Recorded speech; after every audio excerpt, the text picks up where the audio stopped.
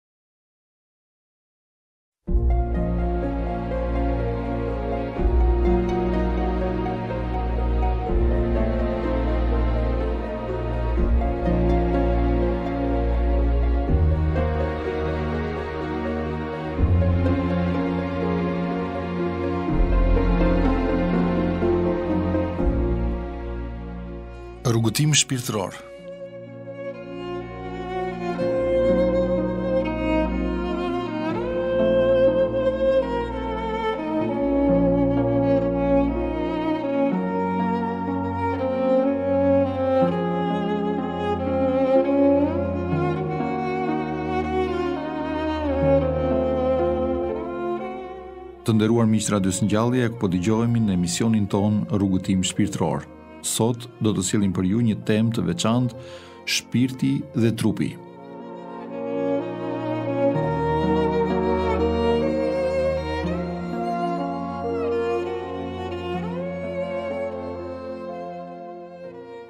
Në qoftë se njeriu trupor, është në gjendje të mirë dhe i lumtur, njeriu frymor ndihet në zgjedhë. Në qoftë se njeriu i jashtëm përparon, njeriu i brendshëm vyshket. Kështu e kundërta jonë është njeriu i vjetër, trupor dhe i mëkatshëm, dhe njeriu i përtërirë nëpërmjet hirit të Krishtit. Prandaj apostulli tha, Edhe pse njeriu ynë i jashtëm shkon në shkatërrim, ai i brendshëm përtërihet nga dita në ditë. Trupi i kryqëzuar e pajton veten me frymën dhe Perëndinë, ndërsa trupi që është ushqyer mirë lufton shumë kundër frymës dhe kundër Perëndisë. Ai nuk dëshiron të lutet dhe në përgjithësi ai rebelohet ndaj Perëndisë. Për shembull, me anë të blasfemisë dhe largon veten nga ai. Si mund të kujdesemi për veshjen e pavdekshme të shpirtit, butësinë, drejtësinë, dlirësinë, durimin, mëshirën dhe të tjera, kur e tërë përkujdesja jonë drejtohet tek veshja e vdekshme dhe zbukurimi i trupit tonë? Ne nuk mund t'u shërbejmë dy zotërinjve. Sepse shpirti është i thjeshtë dhe i veçantë. Si mund të kujdesemi për pasuritë shpirtërore prej veprave të mira, kur ne kemi dëshirë vetëm për pasuritë e shkatërrueshme dhe përpiqemi të grumbullojmë pasuri me gjithë mjetet tona, me gjithë fuqinë, kur shpirti ynë kapet pas parave dhe botës dhe jo pas Perëndisë? Si mund të kujdesemi për ushqimin e paprishëm të shpirtit dhe për pijen e bekuar, për lutjen, leximin e Fjalës së Perëndisë, jetët dhe shkrimet e etërve dhe kungimin e trupit dhe gjakut të Zotit, kur ne mezi nxjerrim ushqimin dhe pijen prej gojëve tona? Si mund të gjejë gëzim shpirti ynë në Shpirtin e Shenjtë, kur ne e mbushim veten gjatë gjithë kohës me kënaqësi dhe argëtime boshe të kësaj bote? Dhe ndodh, që duke i shërbyer asaj e cila prishet dhe shkatërrohet, ne largohemi nga jeta që nuk njeh prishje, nga jeta reale dhe e përjetshme. Shpirti është i fortë dhe i fuqishëm, dhe për pasojë, ai me lehtësi mbart një barrë të rëndë, ndërsa trupi është i plogët dhe i pafuqishëm, Dhe si pasojë, ai lehtësisht shastiset nga barra e tij natyrale. Shpirti i njeriut të bekuar me hirin e Perëndisë lehtësisht mposht trupin e tij, dhe madje dhe trupin e të tjerëve. Ai me lehtësi kupton domethënien e fjalëve gjatë lutjes, duke i mbushur ato me shpirtin e tij. Ndërsa njeriu joshpirtëror vazhdimisht i nënshtrohet trupit të tij, mbahet nën zgjedhë nga fjalët e lutjes. Sa më tepër njeriu i shkon pas qejfit, ndjeshmërisë së tij, aq më joshpirtëror ai bëhet dhe largon nga vetja shpirtin e shenjtë të Perëndisë, i cili nuk mund të banojë brenda atyre të cilët bëjnë një jetë joshpirtërore. Kur unë ia përmbush dëshirat trupit tim, unë bëhem armiku më i madh i vetes sime.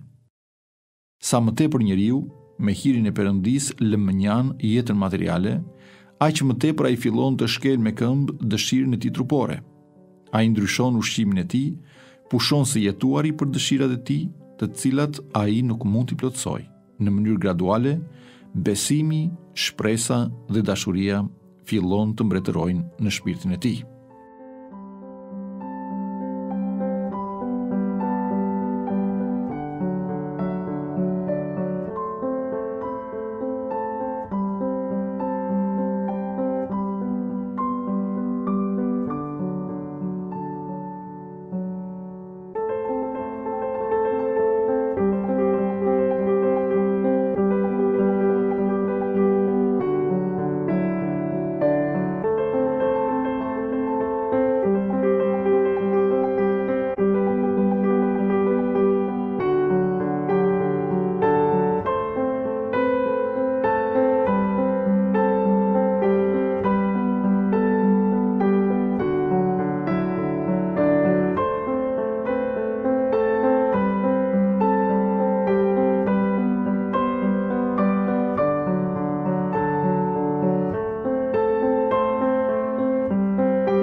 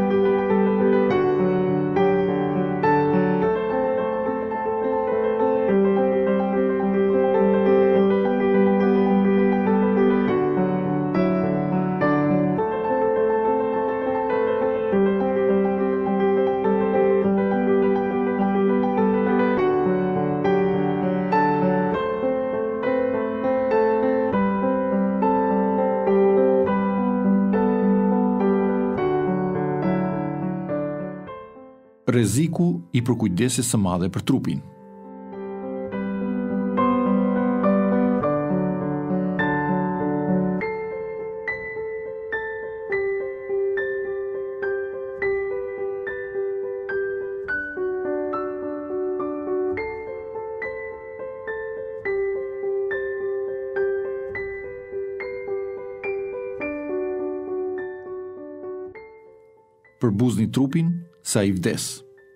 Ato duar që dëshirojnë të marrin dhurata, do të lidhen dhe nuk do të marrin më. Ato këmbë që ecin drejt së keqes dhe që nuk dëshirojnë të qëndrojnë për lutje, do të mbërthehen dhe nuk kanë për të lëvizur më. Ata sy që shohin me lakmi pasuritë e të tjerëve, do të mbyllen, do të errësohen përgjithmonë dhe asgjë nuk do t'i joshë më ata.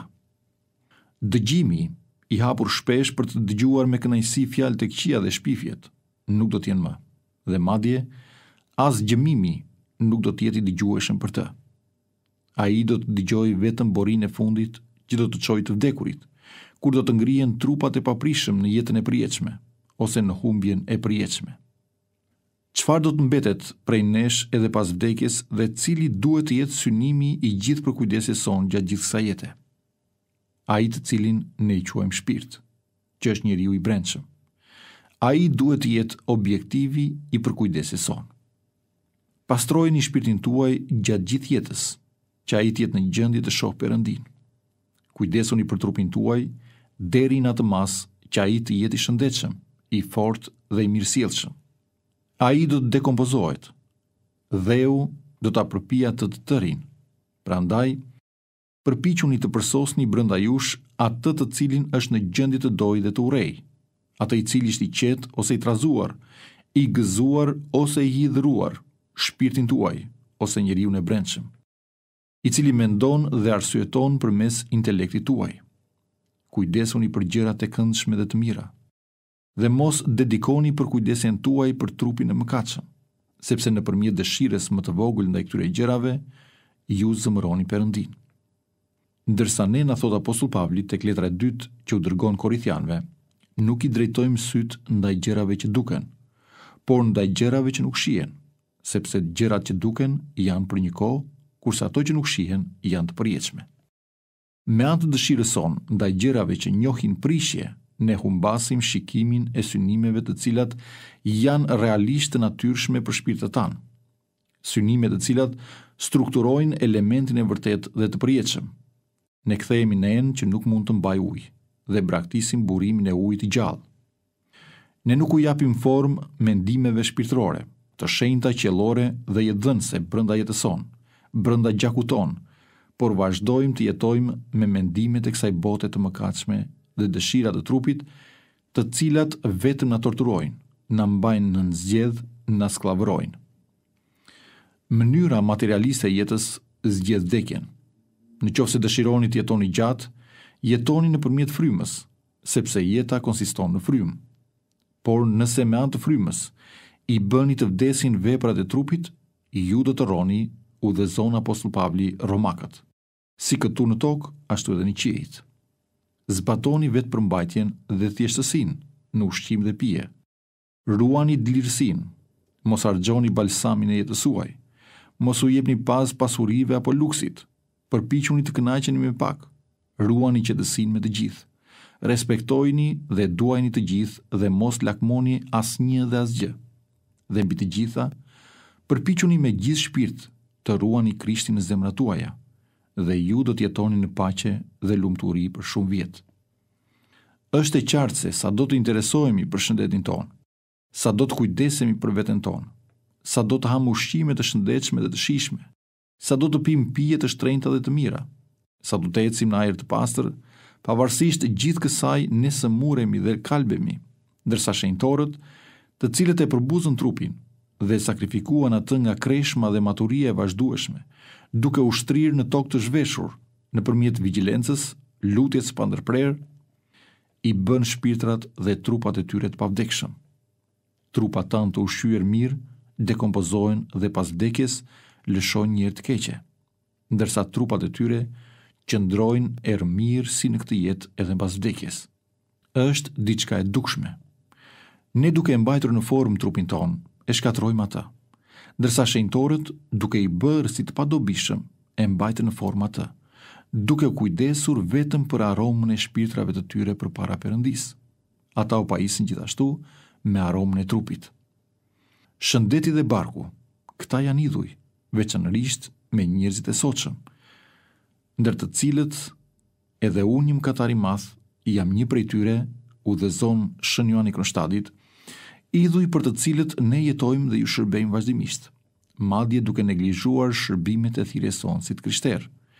Të tilla si leximi i Fjalës së Perëndisë, E cila është më e ëmbël se mjalti? Lutja, bashkëbisedimi më i ëmbël me Perëndinë dhe predikimi i Fjalës. Të kujdesemi së tepërmi për shëndetin dhe të stimulojmë oreksin. Të ha me oreks, këto janë disa prej qëllimeve të shumë prej nesh. Por nuk duhet të kujdesemi për barkun dhe shëndetin, por duhet të përpiqemi të duam Perëndinë dhe të afërmin tonë, sepse këto janë dy prej urdhërimeve më të mëdha. Ai që rron në dashuri, rron në Perëndinë dhe Perëndia në të. Mos tregoni asnjë përkujdesje për shëndetin, as për jetën tuaj. Besojani tërë jetën tuaj tek vullneti i Zotit, duke thënë, sepse për mua të jetuarit është Krishti dhe të vdekurit fitim. Sepse kush e do jetën e vet, do ta humbasë, dhe kush e urren jetën e vet në këtë botë, do ta ruajë për jetën e përjetshme. Dëshira te kjo jetë e përkohshme, tek shëndeti, krijon shumë të çara të urdhërimeve të Perëndisë, tek kënaqësia e trupit, tek prishja e kreshmës, në dëshpërim, padurim dhe në nervozizëm. Mos i besoni trupit tuaj kur ju kërcënon me dobësi gjatë lutjes. Ai gënjen. Posa të filloni të luteni, ju do të konstatoni se trupi juaj do të bëhet skllavi juaj i bindur. Lutja juaj do t'i japë gjallëri atij gjithashtu. Gjithmonë kujtoni që trupi nuk thotë të vërtetën. Mos i kushtoni shumë vëmendje trupit tuaj. Mos e dëshironi fort atë. Mos ia plotësoni dëshirat dhe mos e forconi atë kundër shpirtit. Përndryshe, kur duhet të punohet në frymë, për shembull të lutesh ose të shkruash një vepër shpirtërore ose morale, ju do të shihni që trupi e ka mposhtur shpirtin dhe e ka lidhur kokë e këmbë. Trupi i hedh përtokë të gjitha impulset e shpirtit, dhe nuk e le atë të çohet dhe të gjejë fuqinë e tij të plotë. Atëherë shpirti do të jetë skllavi i trupit. Për t'i pëlqyer Perëndisë, ne duhet për hir të tij të jemi indiferentë ndaj trupit tonë, për shembull, kur gjatë lutjes, pavarësisht dembelizmit tonë dhe dëshirës së madhe për të fjetur, Ne duhet të detyrojmë veten të mos i nënshtrohet asaj. Atëherë ne jemi indiferentë ndaj trupit tonë. Martirët dhe asketët e kishës sonë treguan këtë indiferencë ndaj trupit. Kur është shumë e vështirë për të luftuar trupin, atëherë është momenti të tregoni vendosmërinë tuaj. Aty është koha të mos i shmangesh konfliktit, por të luftosh si një ushtar i mirë i Krishtit. Edhe këtu nderuar miq po e mbyllim edhe për sot këtë emision, për t'u dëgjuar sërish në emisionin e radhës ku do të ndalemi të flasim për përtacinë dhe si ta luftojmë atë. Mirudëgjofshim në emisionin tjetër.